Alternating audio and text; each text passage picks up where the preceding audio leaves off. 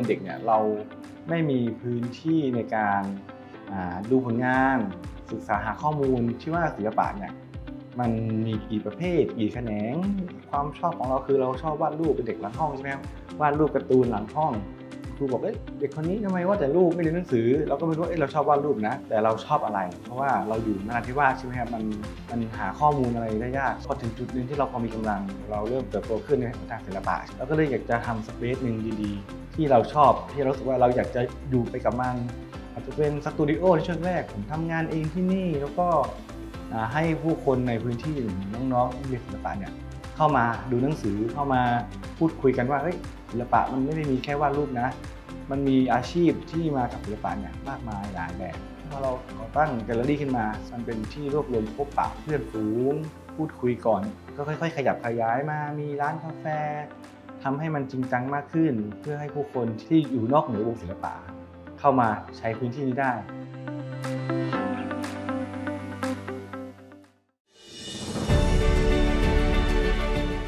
บ้านหลังนี้มันเป็นบ้านของครอบครัว ยกความดีคุณพ่อเนาะท่านอยากทำพิพิธภัณฑ์เล็ก ๆ ไว้ในนราธิวาสแล้วท่านก็เกิดป่วยขึ้นมาก่อนแล้วไม่ได้มีกำลังจะทำต่อ ก็เลยทิ้งบ้านให้มันเป็นแบบล้างมานานใช่ไหมครับ ผมกลับมาก็เลยเอาสิ่งที่พ่อเขาปลูกฝังไว้คือเขาอยากทำพิพิธภัณฑ์แต่เราเรียนทางวิชวลใช่ไหมครับทางทัศนศิลป์มา ก็เลยเปลี่ยนมาเป็น contemporary gallery ดีกว่า เป็นอาร์ตกึ่งร่วมสมัยยืมงานศิลปะของเพื่อนเอามาโชว์ในแกลเลอรี่ตัวเอง เป็นพัสสตูดิโอด้วย คือวาดรูปชั้น 2 ก็ยังเป็นงานของเพื่อนๆในกลุ่มศิลปินที่เราดึงเข้ามา เดลแปอาสเปนนะครับเป็นเหมือนเวทีที่ให้น้องๆศิลปินรุ่นใหม่ หรือ ผู้คนที่สนใจในศิลปะเนี่ยได้โชว์ผลงาน ได้สร้างสรรค์ผลงานออกมา โดยที่ไม่ต้องไปอยู่ที่กรุงเทพหรือว่าที่อื่น เพราะว่าที่นี่เองเขาเป็นศูนย์กลางของตัวเองได้ ด้วยตัวเขาเองตัวศิลปินที่สนใจแสดงงานศิลปะเองประมาณนั้นครับนี่ก็เป็นความยินดีนะครับที่เราได้ได้ร่วมงานกับทางสำนักงานศิลปะวัฒนธรรมร่วมสมัยที่ให้งบประมาณในการจัดโครงการในครั้งนี้ ซึ่งที่จริงเรามีโปรเจกต์นึงที่เราเคยทำมาแล้วครั้งหนึ่งก็คือเหมือน Artist in Residency ซึ่งก่อนหน้าโครงการนี้เราเคยทำมาแล้วสองครั้ง ครั้งนี้ก็พิเศษกว่า โดยเราเป็นเจ้าภาพเองร่วมกับทางสสรการจัด residency เนี่ยมันเป็นการที่เราให้ศิลปินนะครับจากข้างนอกครับพื้นที่เราเข้ามาเป็นคนนาทิว่าเดือนหนึ่งประมาณนั้น แล้วเขาจะมองเห็นอะไร เขาจะทำงานต่างจากเราไหมคนนอกที่เขามองเข้ามา เขาสนใจอะไร อาจจะเป็นประเด็นที่ไม่ใช่ประเด็นถึงความรุนแรงความขัดแย้งอย่างเดียว มีเรื่องราวหลากหลาย ซ่อนอยู่ในมิติของความขัดแย้งใช่ไหมครับการที่เราแชร์พื้นที่เราออกไปเนี่ยให้ได้มากเท่าไหร่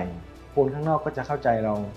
มากเท่านั้น เราเราไม่ได้หวังแค่ความเข้าใจกันเนาะเราหวังแค่ว่า เราอยากจะให้พื้นที่เนี่ยมันเติบโตไปทุกมิติคือผมตั้งใจมาแบบไม่มีอะไรไม่มีข้อมูล พยายามที่จะเอาข้อมูลที่มันเราเรารับรู้ผ่านมานี้ทำงานกับเราน้อยที่สุด สัมผัสเราจริงๆ ก็คือประเด็นเรื่องอาหารนะในเมื่อเรากินแต่หวานกับเขาเราก็อยากทำรสขมให้เขากินบ้าง แค่นั้นเองครับ มันสามารถตีความในมิติไหนได้บ้าง ขมในความคิดขมในความรู้สึกอันนี้ไอ้รสขมที่มันสัมผัสได้จุดเริ่มต้นและคือความเป็นอาหาร มันขมจนรู้สึกว่าไม่อยากจะอื่นด้วยความที่เราชินกับหวานนั้น เราคิดว่าหวานมันอร่อย ที่มาที่ไปของงานมันเริ่มมาจากการที่ว่าเราเปลี่ยนสถานที่เนาะเรามาในวัฒนธรรมที่ต่างออกไป แล้วก็ เราพยายามจะ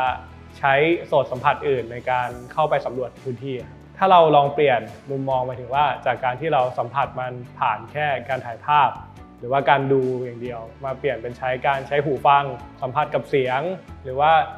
เทคต่างๆ ที่มันถูกถูกสร้างขึ้นในกรอบของการมาใช้ชีวิตในนราธิวาสครับ ณวันนี้วันที่เราฟังเสียงของตัวเอง มุมมองของของคนนอกที่เขามองมาในในในบ้านเราอะค่ะมันมันมีความเป็นบวกมากกว่าเป็นลบผมคิดว่าพื้นที่ของสามจังหวัดเนี่ยเป็นพื้นที่ที่เขามีวัฒนธรรมที่เขาแบบ ข็งแกร่งอยู่แล้วว่าทำที่เขาโดดเด่นวันนั้นผม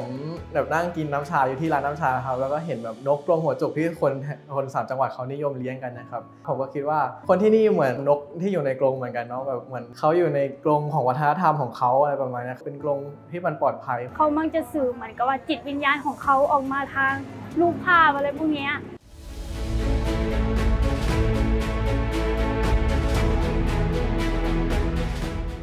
เรามุ่งเน้นไปที่ชุมชนและผู้อื่น ก็คือศิลปิน ชุมชน แล้วก็คนทำงานศิลปะนะครับโครงการนี้ก็ทำให้ทุกอย่างเติมเต็มในสิ่งที่ที่เราคาดหวังไว้ ขอขอบคุณสำนักงานศิลปะว่าทำร่วมสมัยนะครับ ที่ให้การสนับสนุนเดลแปอาร์สเปซในครั้งนี้ครับ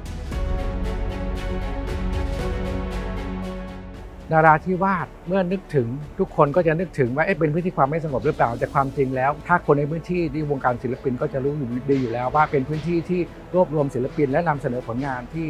เรียกว่าผลงานน่าชื่นชมของทางจังหวัดชายแดนภาคใต้